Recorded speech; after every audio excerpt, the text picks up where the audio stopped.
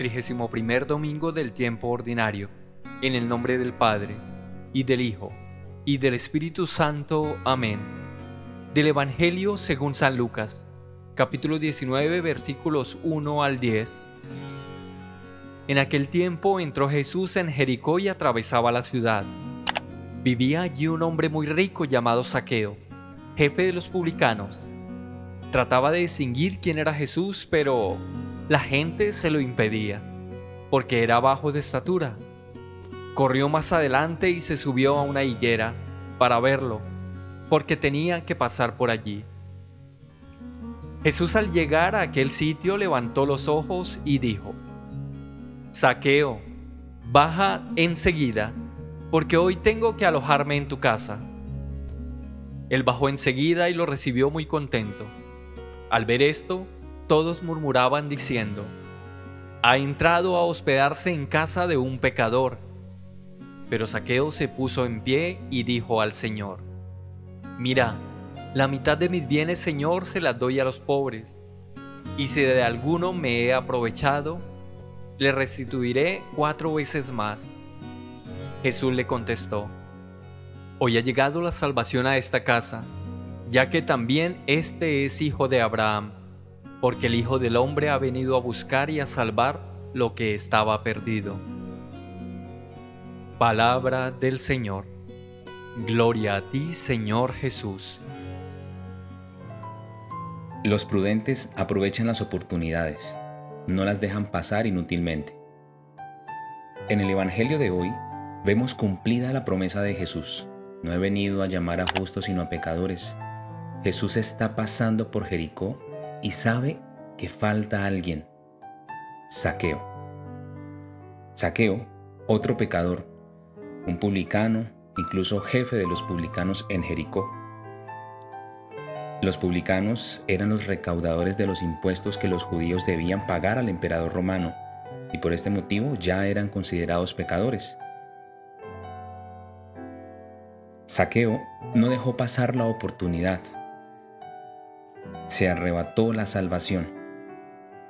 Saqueo con aparente limitación de estatura buscó la manera de encontrarse con Jesús, quizás de lejos, pero lo logró. Tenía conciencia de su error y de su pecado, pero no se dejó determinar por ello, pues había algo en su interior que lo movía a salir de sí. El amor de Dios es tan grande que nos busca y nos hace la invitación. ¿Quieres ser salvo? Esto sacudió las entrañas de Saqueo y le hizo tomar una decisión. Jesús pasó, lo sedujo, lo contagió de su amor y su misericordia.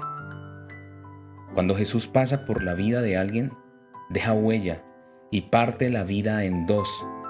Siempre deja, después del paso, un antes y un ahora para responder. Saqueo no se quedó instalado en sus riquezas. Él cambió radicalmente, bajó de sus instalaciones, se negó a sí mismo, tomó su cruz y siguió al Señor. Ese saqueo eres tú, soy yo. Somos privilegiados que el amor de Jesús nos sigue llamando para seguirle. La cena con saqueo en su casa fue su propia salvación, la salvación para él y para los de su casa. Delante de Dios no hay nadie demasiado pequeño. Todos podemos acoger al Señor en nuestras vidas y dejarnos transformar por Él.